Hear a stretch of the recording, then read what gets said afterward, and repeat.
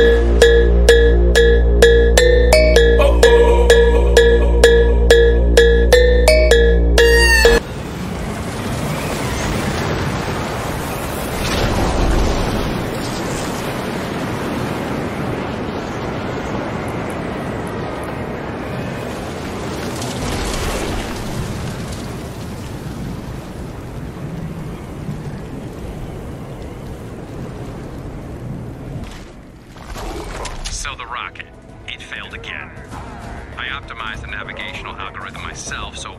design problem. Don't point the fingers at me.